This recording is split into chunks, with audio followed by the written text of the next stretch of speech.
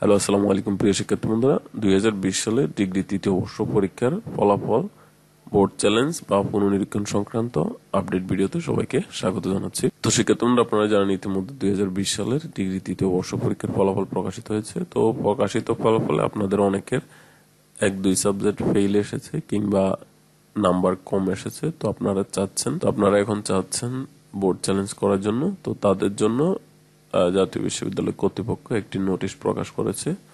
তো আজকের ভিডিওতে আমি আপনাদেরকে এই বোর্ড চ্যালেঞ্জ এর ব্যাপারে এবং যাদের পরীক্ষার ফলাফলে অ্যাবসেন্ট এসেছে তাদের সম্পর্কে বলব।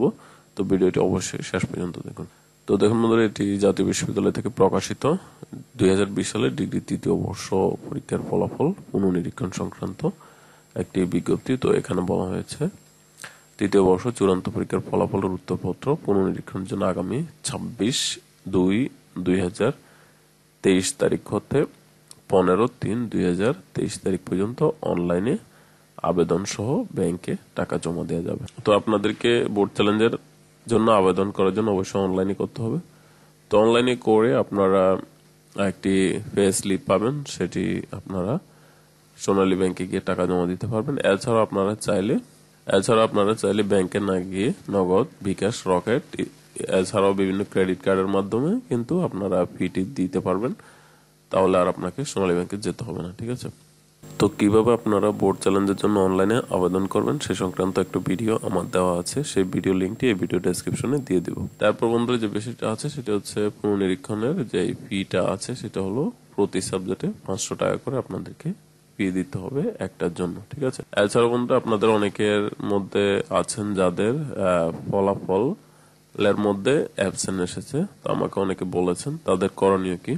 তো যাদের ফলাফলে অ্যাবসেন্ট আসবে, তাদের করণীয় হচ্ছে আপনারা একটি অ্যাপ্লিকেশন লিখে সরাসরি জাতীয় বিশ্ববিদ্যালয়ে যোগাযোগ করবেন। পরীক্ষা নিয়ন্ত্রক বরাবর একটি দরখাস্ত লিখতে হবে আপনাদেরকে। মাধ্যম হিসেবে আপনার কলেজকে দিয়ে পরীক্ষা নিয়ন্ত্রক বরাবর, জাতীয় বিশ্ববিদ্যালয়ের পরীক্ষা নিয়ন্ত্রক বরাবর একটি দরখাস্ত লিখতে হবে।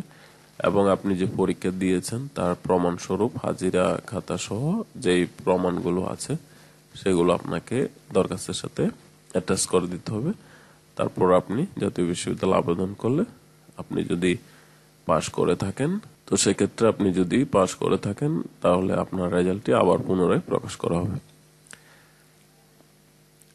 তখন বন্ধুরা এই ছিল দুই হাজার বিশ সালের ডিগ্রি তৃতীয় বর্ষ পরীক্ষার ফলাফল পুনর্নিরীক্ষণ সংক্রান্ত ভিডিও আশা করি আপনাদের ভিডিওটি ভালো লেগেছে। তো ভিডিওটি যদি ভালো লেগে থাকে, অবশ্যই লাইক করবেন কমেন্ট করবেন এবং ভিডিওটি আপনার বন্ধুদের সাথে শেয়ার করে দেবেন। আর চ্যানেলে যদি নতুন হয়ে থাকেন, অবশ্যই চ্যানেলটিকে সাবস্ক্রাইব করে দেবেন। তো ধন্যবাদ, সবাই ভালো থাকবেন, নিরাপদ থাকবেন। আল্লাহ হাফেজ।